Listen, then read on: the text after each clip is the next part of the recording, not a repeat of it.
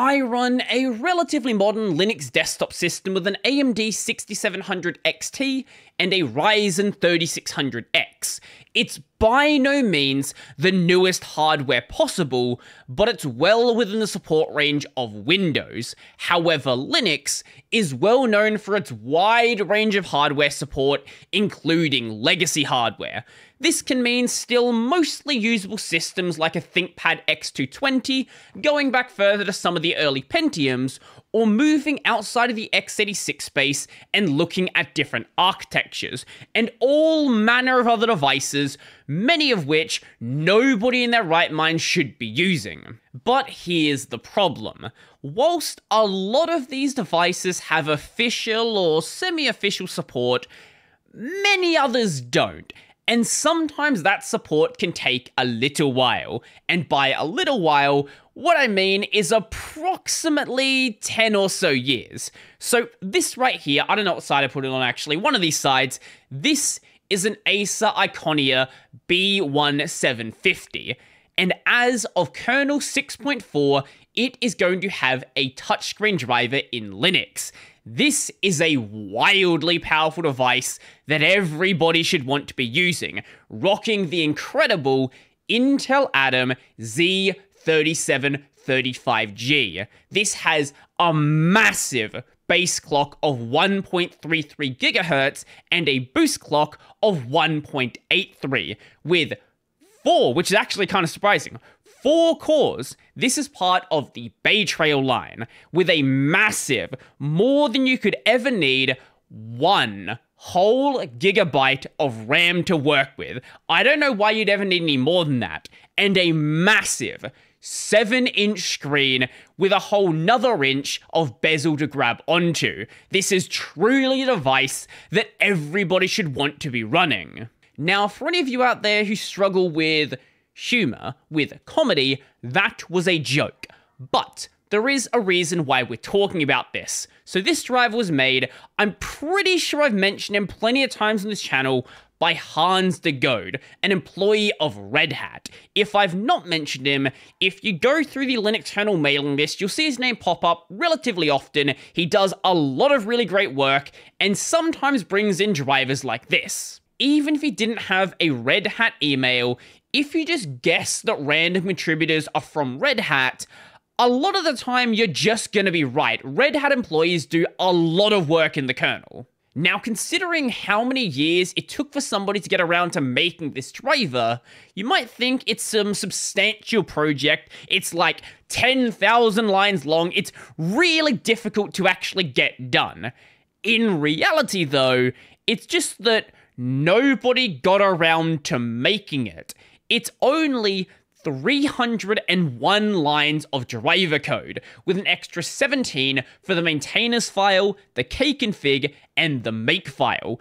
It's really a relatively small project. Now, I don't understand the driver code myself, but 300 lines is really not that much. But here's the fun thing about writing a third party driver without any support from the original manufacturer. Sometimes you don't have all the information you need. Input. Add a new Novatek NVT TS driver. Add a new driver for the Novatek i2C touchscreen controller as found on the Acer Iconia 17B1750 tablet. This is an incredible product name, and I love the way that big companies name things. Unfortunately, the touchscreen controller model number is unknown. Even with the tablet opened, it is impossible to read the model number.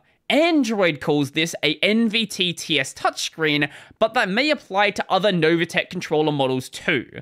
This appears to be the same controller as the one supported by this link over here, but unfortunately, that does not give us a model number either. If you want to go and check out this driver code, go ahead and do so.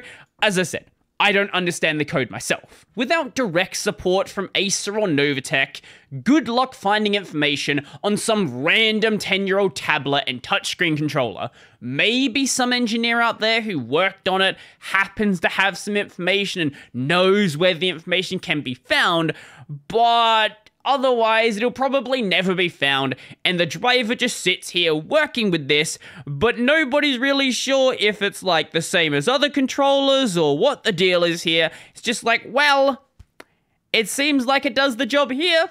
I don't know if it's going to work anywhere else though. Now, the big problem with better supporting Linux on devices that aren't just like a regular desktop system or a laptop is getting Linux onto the device to actually use the drivers.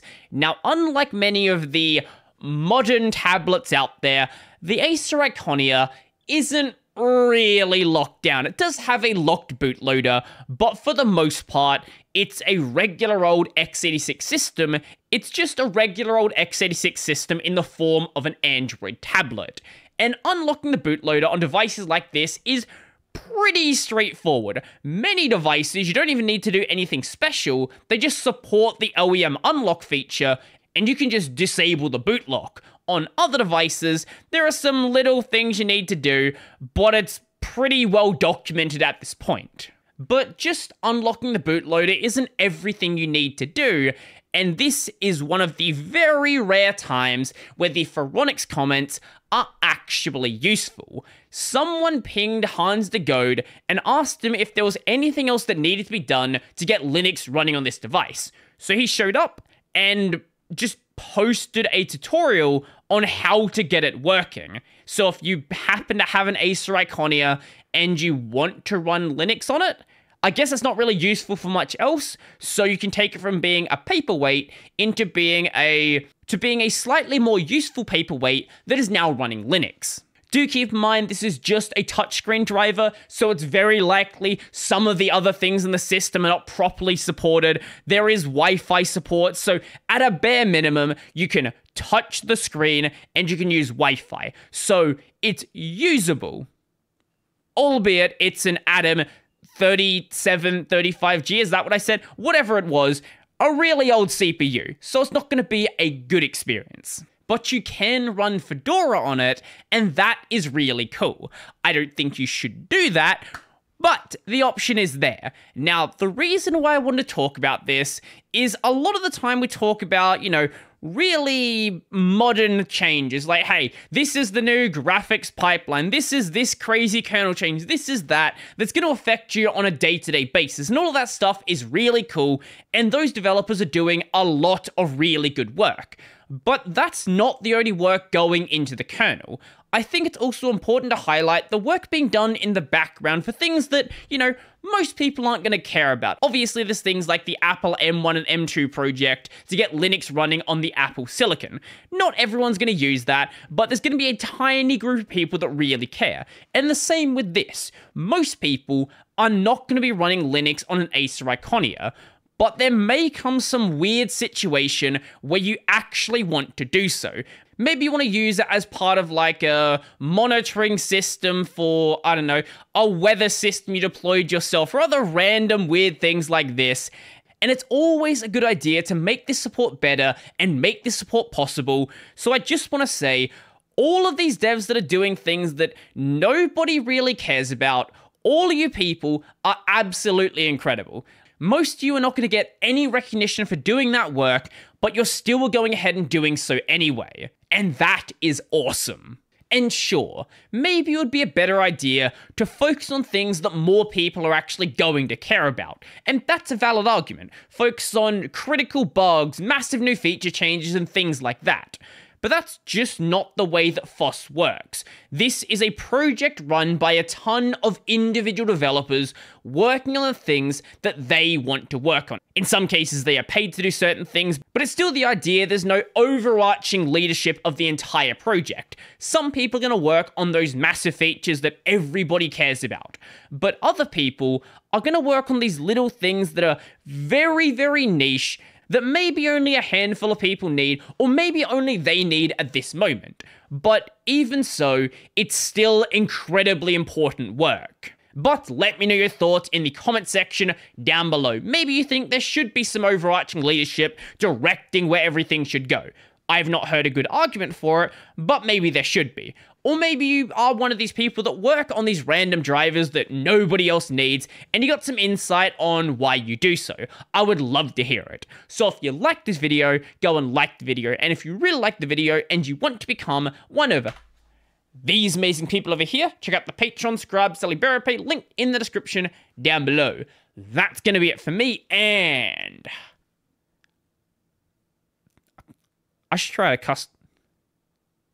And. And. And. I actually don't have an outro.